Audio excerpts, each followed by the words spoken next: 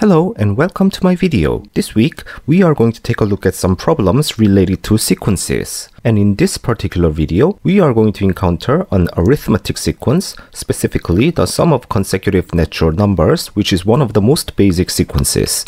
So the problem says, a sum of several consecutive natural numbers is 1000. Find these consecutive natural numbers. For example, number 10 can be expressed as the sum of consecutive natural numbers, which is 1 plus 2 plus 3 plus 4. This one is quite easy, but can you do it for 1000? There can be more than one expression, so let's find all of them.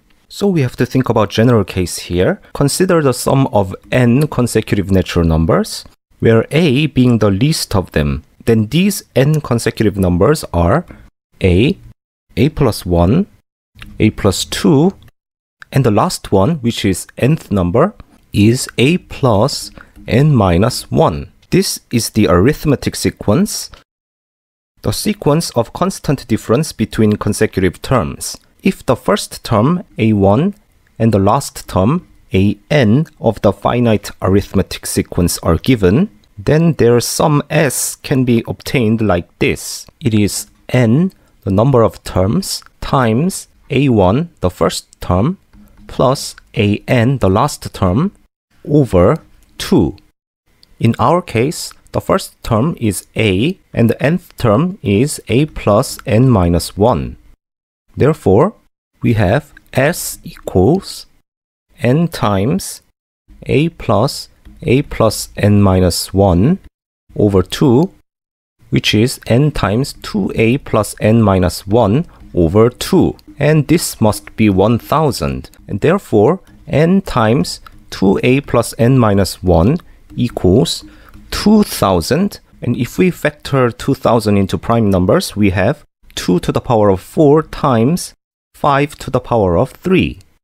Now notice that this product n times 2a plus n minus 1 is always odd times even which means that one is odd and the other is even. More specifically, if n is odd, then 2a plus n minus 1 is even, and when n is even, then 2a plus n minus 1 is odd, hence always odd times even. Moreover, 2a plus n minus 1 minus n equals 2a plus 1, which is always positive when a is natural number, which means n is less than 2a plus n minus 1 so n is the smaller number. Therefore, we have to find out possible ways of expressing 2000 as the product of one odd natural number and one even natural number. Using the fact that there exists only one kind of odd prime factor, namely 5, uh, we can find them relatively easily. So 2000 can be expressed as either 1 times 2000, which is odd times even, and then if we use 5 here, then we have 5 times 400.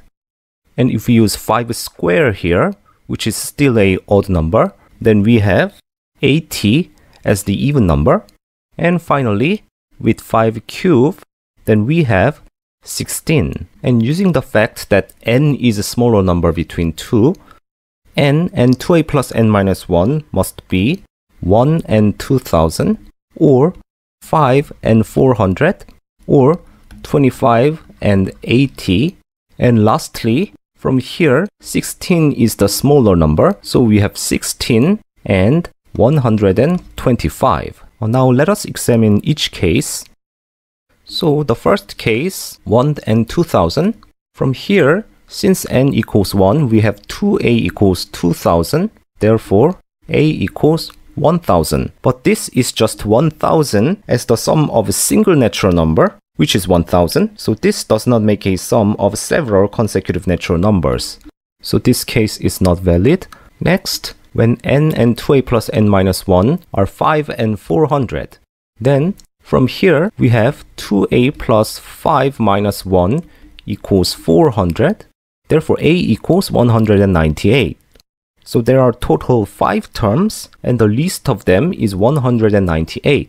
Therefore, 1000 can be expressed as the sum of 5 consecutive natural numbers, which is starting from 198 plus 199 plus 200 plus 201 plus 202. Next, when n equals 25 and 2a plus n minus 1 equals 80, it means 2a plus 25 minus 1 equals 80. Therefore, we obtain a equals 28. So there are total 25 consecutive natural numbers, and the least of them is 28. So we have starting from 28 plus 29 plus, and we have total 25 numbers. So the largest one is 28 plus 24, which is 52. So we have found another one. Next is 16 and 125. And remember, n is the smaller number, so n must be 16. Then we have 2a plus 16 minus 1 equals 125. Therefore, a equals 55. So there are 16 consecutive numbers and the least of them is 55. So therefore, we have 55 plus 56 plus, and we have 16 numbers. So the last one must be 55 plus 15, which is 70. So we have found another one. To summarize, the possible sets of consecutive natural numbers are first 198 plus 199 plus 200 plus 201 plus 202, 55 plus 56 plus up to 70, and 28 plus 29 plus plus 52. So we have three possible expressions. And that's all for this video. Like I said, I am going to upload more videos related to sequences. So if you want to get notified, please hit like and subscribe to my channel. And I will see you in another video.